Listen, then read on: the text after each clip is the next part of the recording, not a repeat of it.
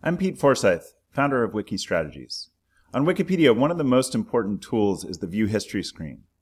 If you're an editor who's trying to follow along and work with other people, or if you're a reader who wants to understand what went into building an article, uh, the View History screen is the most important tool to help you out with that. So I'm going to show you how it works. On any article, uh, if you look towards the upper right hand part of the screen, you'll see a button that says View History. And when you come to that screen, you're going to see a view that shows a line for every revision of the article.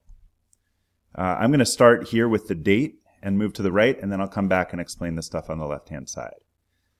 Anywhere you see the, the date and time, if you click on it, it's going to take you to that revision of the article. So it could be five years ago. It's going to show you what the article looked like at that time. To the right of that is the name of the person who made that particular edit. So the most recent one here is Boris and Doris, and before that was Pete Forsyth. That's me.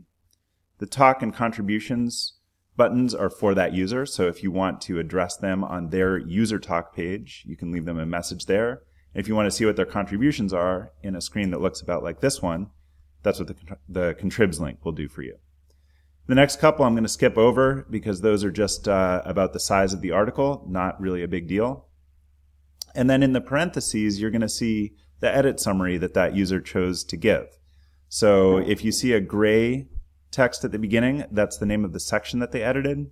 And then you'll see what they typed in to describe what they wanted to do. So in this case, this person said subheadings for readability and direct links. Uh, and in the previous edit, I put in expand the lead section.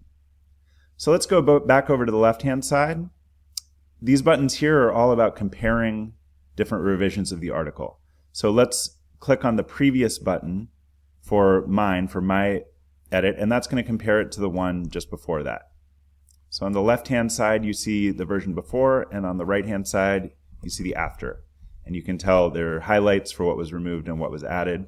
Remember, it said I expanded the lead section, and you can see on the right-hand side, there's more information there if you want to compare several edits in a row, uh, and I'm going to just go down to where I did a short string of edits. So you see here we've got three in a row by Pete Forsyth. That's where you use the buttons. So I'm going to click the button just before my first edit, and then the button on the most recent of those edits, and then I'll go back up, and then I'm going to go back up to the top where we've got the compare selected revisions button. And now you're going to see a similar view that shows you all of those edits together. I hope this has helped you understand how to use the feature, and if you want to see more, just click on the link below and find the resources for our Writing Wikipedia articles course.